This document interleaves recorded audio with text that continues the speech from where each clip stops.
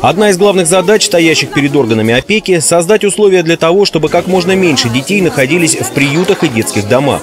Необходимо всех детей-сирот и детей, оставшихся без попечения родителей, устроить в замещающие семьи. Это государственная политика.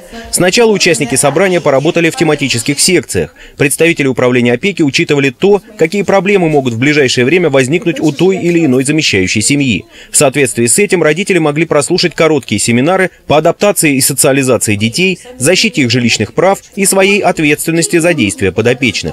Затем состоялось уже общее собрание. Результатом национальной стратегии действий в отношении детей в Московской области стало сокращение детей, оставшихся без попечения родителей в региональном банке данных. Вы знаете, что это те дети, которые проживают в учреждениях для детей-сирот и детей, оставшихся без попечения родителей. Вот за 8 месяцев 2015 года количество этих детей сократилось более чем на 17%.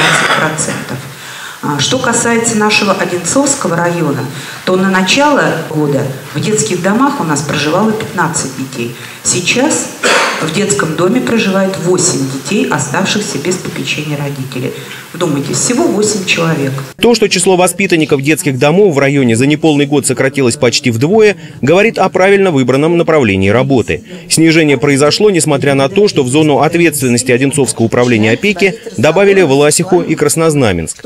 Не всегда привыкание ребенка к замещающей семье проходит гладко, и сами такие семьи не всегда бывают полностью благополучными. Но, судя по цифрам, проблемы это скорее исключение из правил. На сегодняшний день состоит на контроле опекунов, привлеченных э, к ответственности по статье 5, 35, часть 1, 6 человек, опекаемых несовершеннолетних 14 человек, из них, из детей, да, из несовершеннолетних, за употребление алкогольных напитков 6 человек, за употребление наркотических средств 1 человек – за курение три человека, за мелкое хищение, то есть э, кражи из магазинов, из торговых точек, два человека и переход железнодорожных путей в неустановленном месте – два человека.